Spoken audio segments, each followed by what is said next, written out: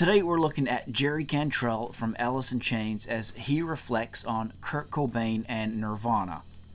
Nirvana and Alice in Chains, of course, two of the heavyweight grunge bands from Seattle. But what might surprise some people is that Nirvana and Alice in Chains paths didn't cross all that often.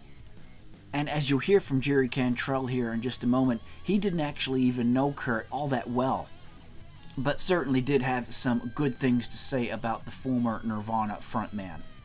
In this next clip, Cantrell talks about really the one and only time that he did hang with Kurt, and that was in Rio de Janeiro in 1993 when both bands were there for the Hollywood Rock Festival. The right. first time I, the first and only time I ever spent time and hung with Kurt was in Rio in my in my hotel room when we hung out for a couple of hours, and that was a really great hang, and we had a good talk. And but this is you know we're two Seattle guys, and we've never fucking hung out. That's know? crazy, so, right? Yeah. So uh, I always always remember that time with him, and and it was kind of special.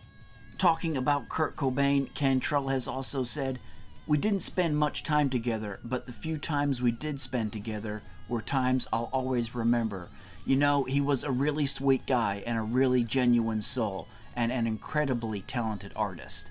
And in another interview, Cantrell said, I really didn't know Kurt. I ran into him a couple of times and I wish I had known him better, but I felt I knew him through his music. Just the beauty of his songs and how Chris and Kurt and Dave played together was unbelievably cool.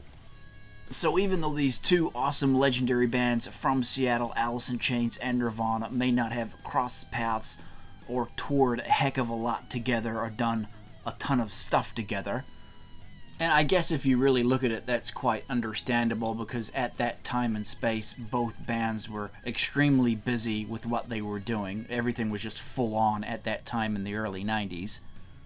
And so, with all that being said, it is very cool there to hear Jerry Cantrell acknowledge Kurt Cobain and Nirvana's accomplishments. Clearly, he had some respect for the band and their music.